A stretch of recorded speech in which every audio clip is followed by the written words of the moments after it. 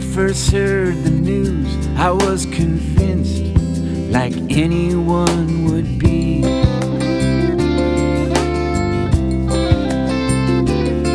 And I'm not one who believes all that he reads, but this was on TV.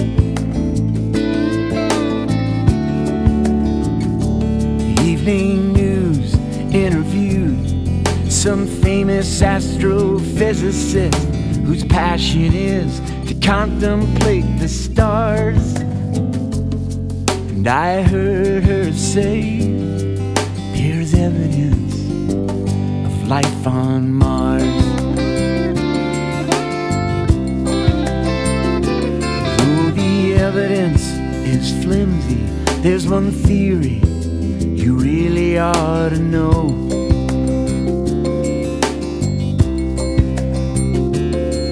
Says life began on Mars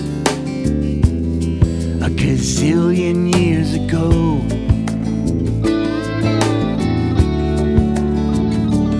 And through cosmic pollination, a microbe hitched an asteroid and crossed the void and fertilized our Earth.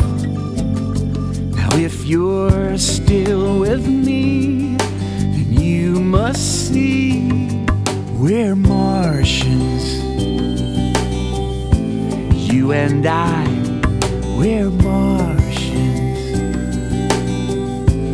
Can't deny we're all a little spacey now and then. Though we're not exactly little green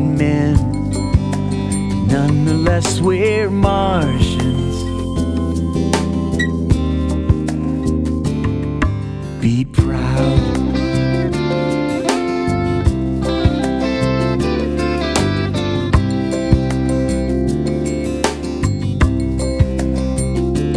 Only truth can challenge truth. And if it's true, this will uproot the family tree. To say I'm Martian American would be correct, at least politically.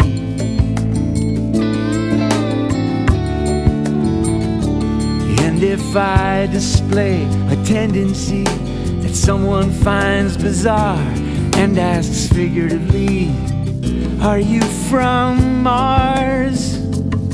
I smile and say, Yeah, in a way, we're Martians.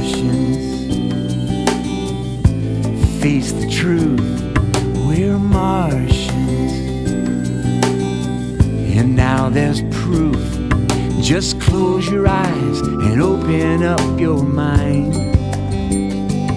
And release the inner Martian trapped inside. We're Martians. Mozart was a Martian. Lincoln was one too. And Galileo, he made Martians famous.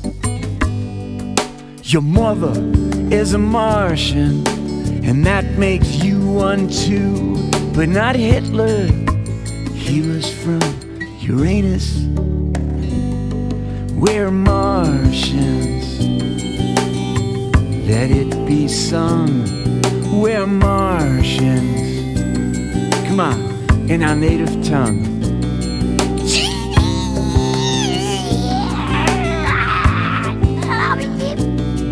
We're Martians. Be proud. That's right. Martians. You, me, that guy down the block. You know, the one who sweeps in front of his house by sweeping everything into the street. And when the wind blows, it blows everything back up onto the sidewalk again. What an idiot.